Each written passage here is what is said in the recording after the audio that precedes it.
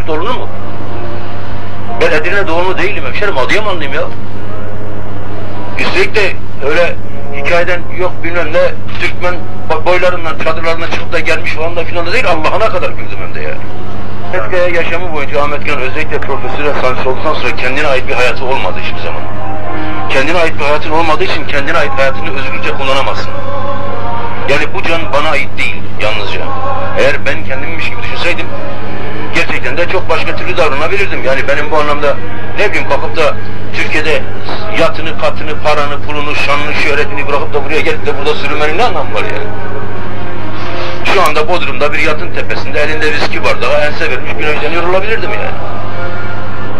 Sadece biraz bedbaht, biraz çaresiz, biraz gurursuz onursuz olmam yeterliydi. Ama ben öyle bir insan değilim ya. Öyle bir adam olmayacağım, hayatım boyunca olmayacağım. Hiçbir ne şöhret, ne para, ne bu.